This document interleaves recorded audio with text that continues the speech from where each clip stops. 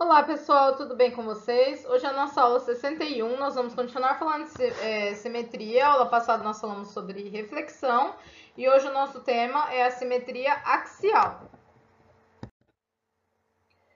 Bom, como que, o que, que vem ser a simetria axial?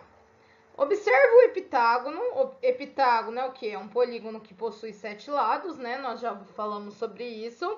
Desenhado na malha quadriculada abaixo. Desenhe na figura com régua e lápis, co colorindo, é, com, lá, com régua e lápis colorido a reta R, que passa pelo ponto A e é perpendicular à reta DE. Então, assim, ó, tem que ser uma reta perpendicular a DE. Tem que fazer 90 graus com DE e passar por A. Então, vocês vão pegar lá a reta, colocar certinho aqui um risquinho e traçar com régua, né, gente? A minha com certeza vai ficar torta, tá? É isso que é para fazer. Aqui formando 90 graus e aí a gente vai colocar, identifique na figura o ponto em que as retas DE é, e R se interceptam e no meio de H. Então, vou colocar um Hzinho aqui no ponto de encontro, tá? O que que aconteceu? Essa foi a figura, é, é para ficar assim, né, gente? Retinho aí, em relação a essa daqui a gente chama de reta R.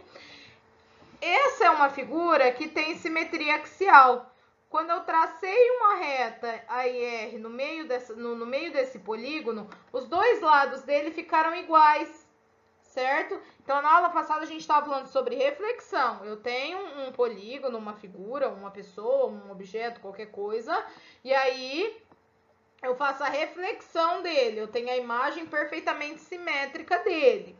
Aqui eu tenho uma simetria, eu tô falando da simetria já dentro do polígono, dentro do, do, do, objeto. Eu traço uma reta no meio dele e um lado fica simétrico ao outro.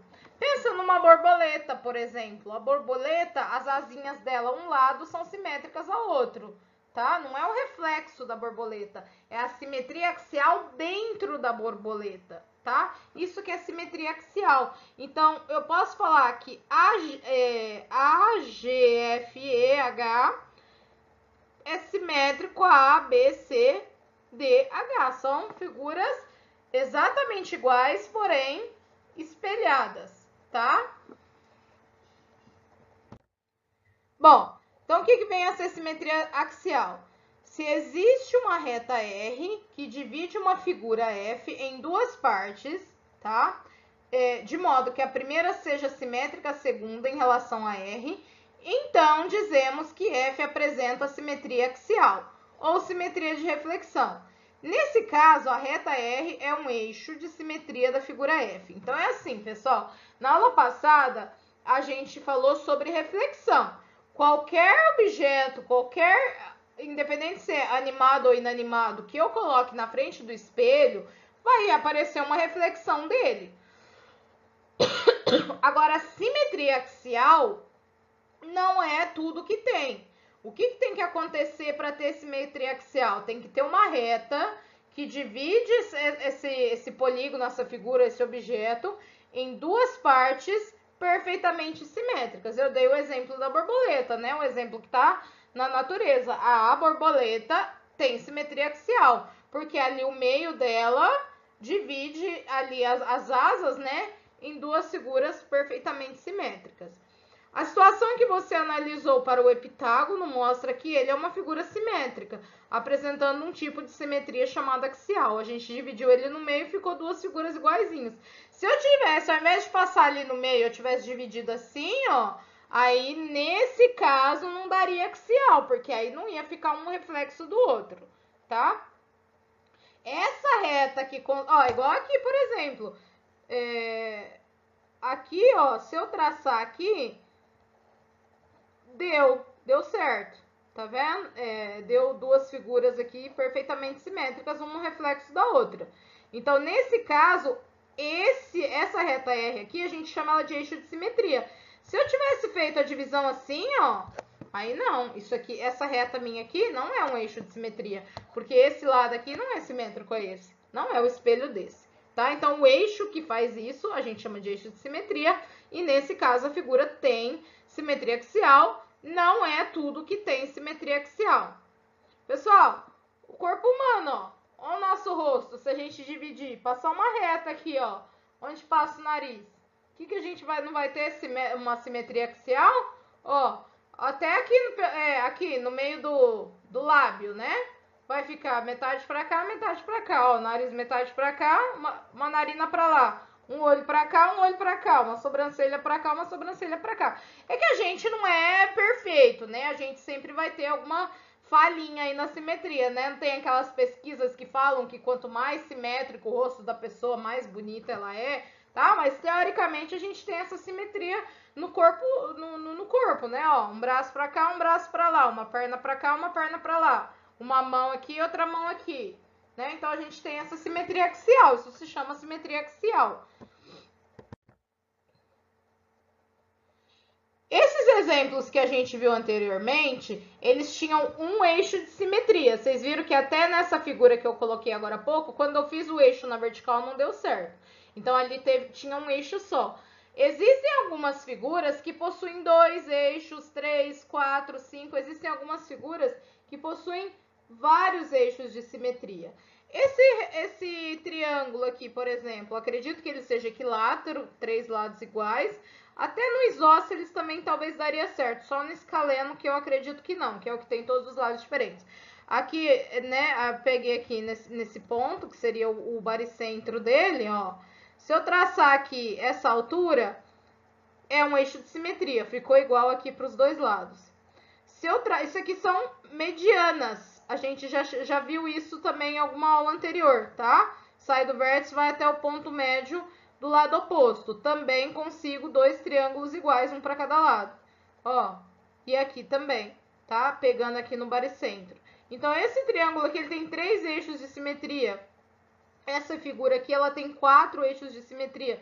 Se eu dividir aqui, eu vou ter um para direita, um para esquerda iguais. Se eu dividir no meio, para cima e para baixo igual. Se eu dividir nas diagonais, também dá certo, tá? Aqui eu tenho dois eixos, aqui eu tenho seis eixos. Então, não necessariamente a gente tem apenas um eixo de simetria. Tem figuras que tem duas, três, quatro, cinco, dez, vários eixos é, de simetria. Então, tem que ficar exatamente um lado igual ao outro, um lado espelhando o outro. E aí, é, isso seria a simetria axial, né? Reflexo todo mundo tem. Mas aí, para ter a simetria axial, para você dividir a figura e você ter exatamente o reflexo dela dentro dela mesma, aí nem todas têm, tá? Esse caso aqui tem vários eixos de simetria, pode ter um só também. Eu coloquei para vocês alguns exemplos de simetria na natureza. Tem simetrias perfeitas na natureza. Bom, uma delas eu até citei, que é o corpo humano. Ó, essa coruja aqui também, o rosto da coruja aqui, ó dividido ao meio. Isso aqui é uma borboleta que a gente comentou também no começo da aula, né? Também, ó, ó o eixo de simetria aqui.